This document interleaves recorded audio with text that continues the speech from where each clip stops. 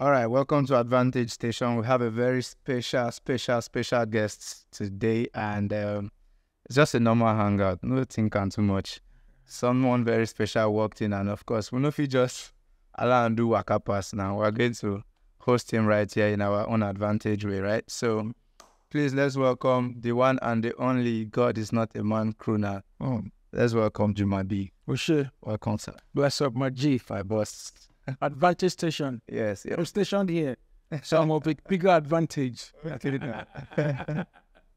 All right, welcome. So, um, it's a proverbial hot seat. The seat is not hot. Only the questions will be a little bit hot. Okay. Uh-huh. So, let's dive right into it. Uh, we want you to tell us. Of course, you've done so many songs. Yeah. So, you personally, which one is your favorite song?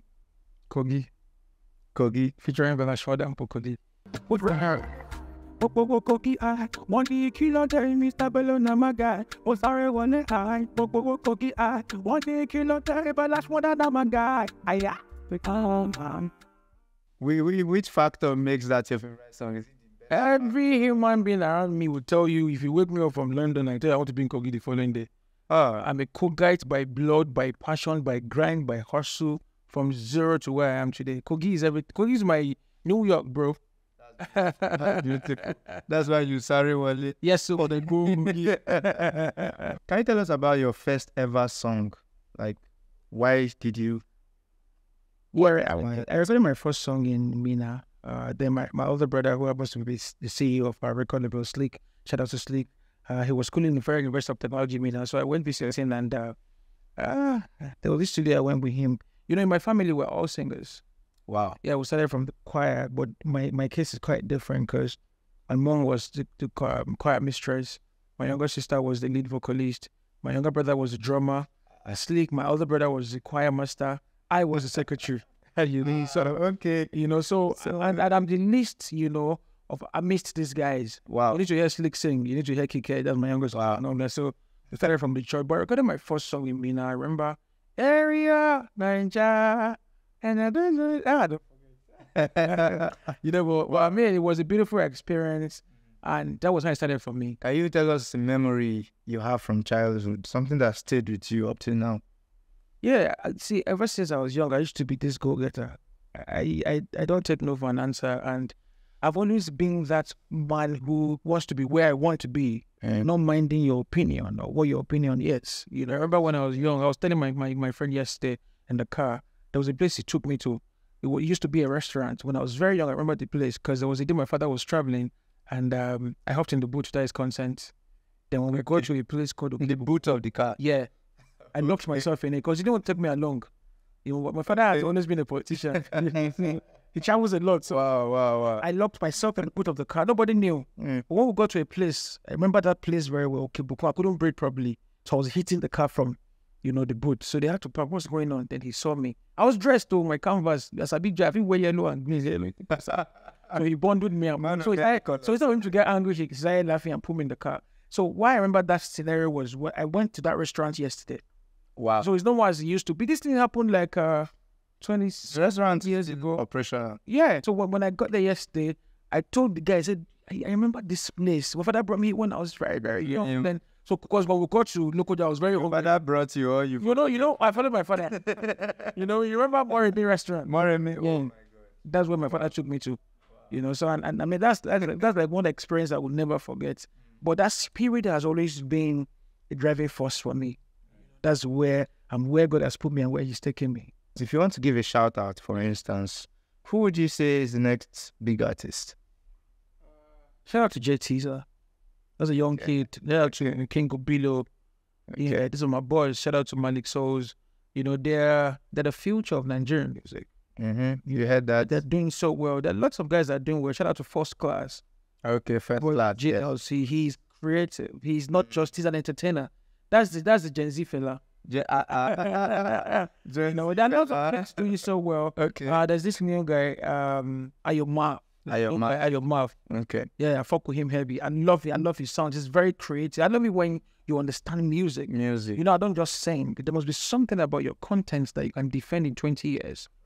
Unless of course, somebody's coming. Somebody's coming real hard. okay. Shout out to 911. That girl, one one. yeah, emergency. Okay. She's coming. Okay, no problem. Yeah, We'll call the fire. De- I'll remind you when she comes because she's coming with that name. You need fire to quench her. say You need water to quench her fire. But this one, you can't even quench it. Right. 911 is coming real hard. All right. Yes, All sir. right. You heard it. Nine one one. Yeah. Watch out for the emergency. okay, so when you are not on the road, you are not singing, you are not performing. What do you do in your spare time? Uh, movies probably. I, I'm a cin- I'm a cinema person, but I go at weird times. I love to visit the cinema about 8.30, 9, when we're just like four or five of us in there. in, Right. yeah, Selective cinema. yeah. I, I, I these days, I, I, I mean, I think I'm more into fashion. I know I've been creating over time, Okay. you know, and there's there's a brand that where we branding Jumabee inspires clothes, yes, Okay. basically. So, Wow. yeah, As a new line coming. yes, sir. It's Okay. been in existence, but we're rebranding. Rebranding. Okay. Awesome. When was the last time you cooked? Uh, last week, concussion. Right. okay. Okay. But, but there was a time I Mm. became a proper chef. When I was stuck in London for eight months during COVID, you became. they cook. Okay. Wait. teach person now. no no. I've been- How is right? Yeah. Then, but there was a day in the podcast. So I'm free to say the truth. Of course. Oh. Of course. So now you go make a talk pigeon. You can't go one day. We come to. I don't know. Say the oil where I use fry the chicken, the oil where I use cook the egusi, the oil where I use for even the stew, Mm. and uh, cannabis oil. Ha. Shout out to Mad P, Teenage, these boys, Sib. These my friends in London. Crazy guys. They don't know I don't cook finish. They go there, you see, I go say, I know they smoke. I know they. you cooked it all. I come sit down, chop the thing. But at the last time I remember be that. That- Just to say I chop, but I don't wash hand till the following day.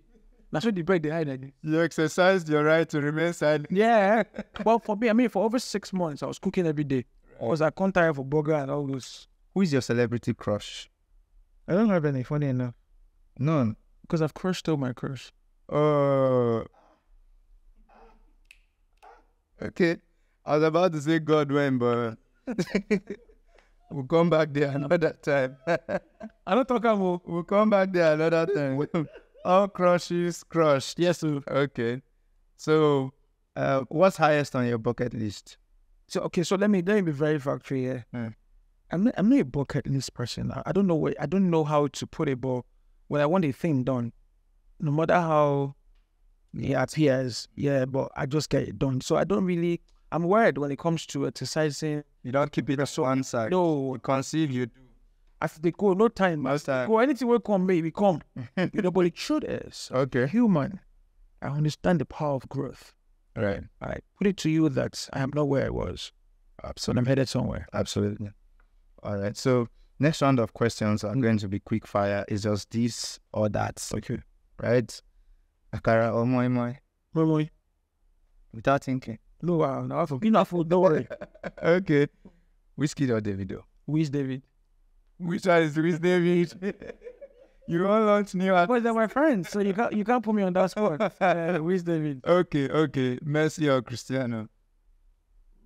Cristiano. Cristiano. I love him because he's an extrovert. Messi is too nah inside boy. Uh-uh. Uh, but Cristiano, Cristiano is like my kind of person. Me, I love I love girls. That means your choice is not football. Cristiano like women. Me, I like girls.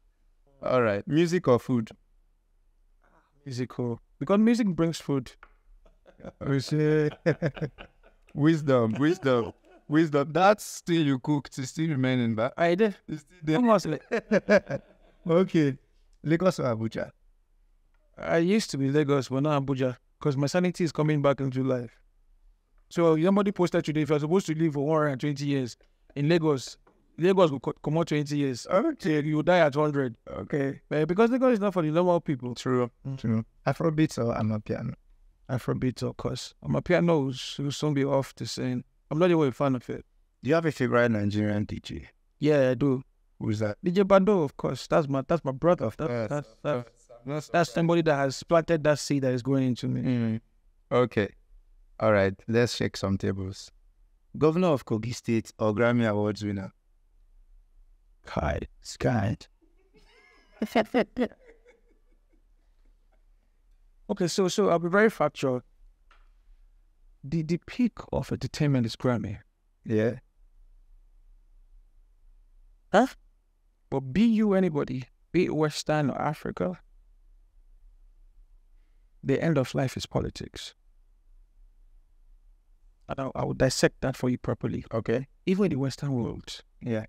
you see, politics is politics when it comes to party uh, practice. But in real life, even here in this organization, it's politics, right? Everybody's looking out for who's the best man. No, wait. That's how it works. So for me as a person, I didn't I didn't used to like politics, even if I was born into it. But now I think I'm finding my faith in it to an extent because that is like the fastest avenue to reach out to people. In as much as there's always a misconception, you got everybody like you, you know, but the few people that you're able to reach out to genuinely, you know, it has this connection that makes God happy when you affect lives, no matter how minute it is. So for me, I would tell you that uh, Grammy is important, but politics is more important. Okay.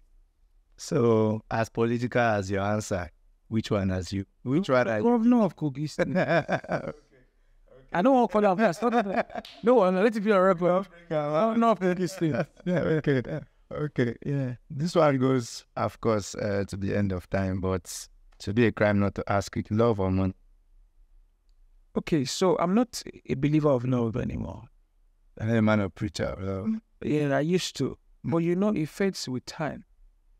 And I'm not, again, a diehard fan of money because I don't respect it. Okay. And when you don't respect money, it will never mm. leave you. You understand that woman where you don't send You know this woman where you don't send, then they rush to you. So regardless, I'm not really I'm not really a money money person. Mm. But I'm I'm okay, I'm comfortable. And that is the mission. That is the vision. I mean of Okay. our advantage station. In other words, you love money. I love money, but not over my life though.